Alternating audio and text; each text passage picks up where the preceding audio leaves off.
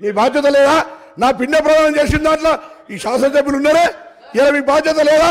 ఇలా మీరు మాట్లాడుతాను అధ్యక్ష నా ప్రాజెక్టుకి సంబంధించి ఎందుకు చేయలేదో కూడా జవాబు చెప్పాల్సిన అవసరం నా జిల్లా ప్రజలకు వీళ్ళకి ఉందనే మాట మనం చెప్తాను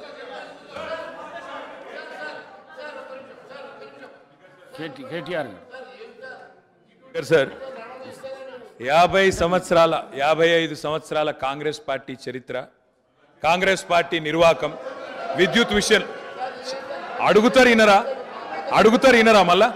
అదే చెప్తున్నా. ఇగో అధ్యక్ష నేను చెప్తలేను. వైట్ పేపర్లో వైట్ పేపర్లో ఇలా చాలా గొప్పగా ఈ ప్రభుత్వమే స్పష్టంగా చెప్పింది అధ్యక్ష. ఏం చెప్పింది అధ్యక్ష? మాకు ప్రజలు పదకొండు సార్లు అవకాశం ఇస్తే యాభై ఏళ్ళ అవకాశం ఇస్తే మేము ఇయ్యగలిగింది రెండు వేల పద్నాలుగు నాటికి ఆరు గంటల కరెంటు మాత్రమే. అంతటి అసమర్థత మాది అంతటి చేతగానితనం మాది అని వాళ్ళే ఒప్పుకున్నారు అధ్యక్ష. అధ్యక్ష చెప్పనండి అధ్యక్ష. నేనేం అన్పార్లమెంటరీ మాట్లాడతలేను? శ్వేతపత్రంలో అదే మాట్లాడుతున్నా. అధ్యక్ష కాంగ్రెస్ అధ్యక్ష ఇప్పుడు మీది కాంగ్రెస్ పార్టీ కాదు సార్. అధ్యక్ష మీరు మాకు అవకాశం ఇవ్వాలి సార్ తప్పు సార్. సార్ ఆయన మాట్లాడినప్పుడు నాకు అవకాశం ఇవ్వాలి మీరు దయచేసి. అధ్యక్ష విజయవాడలో విజయవాడలో విజయవాడలో రాయలసీమ థర్మల్ పవర్. కేంద్రం ఎక్కడ పెట్టిన అధ్యక్ష? కడప. కడపలో బొగ్గుందా అధ్యక్ష? కడపలో నీళ్ళున్నాయా అధ్యక్ష? విజయవాడలో బొగ్గుందా? ఇలా బాగా మాట్లాడుతున్నారు.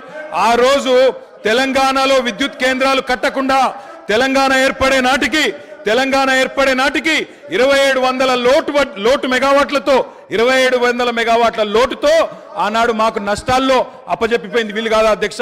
ఆరు గంటల కరెంట్ ఇచ్చింది వీలు కాదా? నేదునూరు గురించి మాట్లాడుతున్నారు.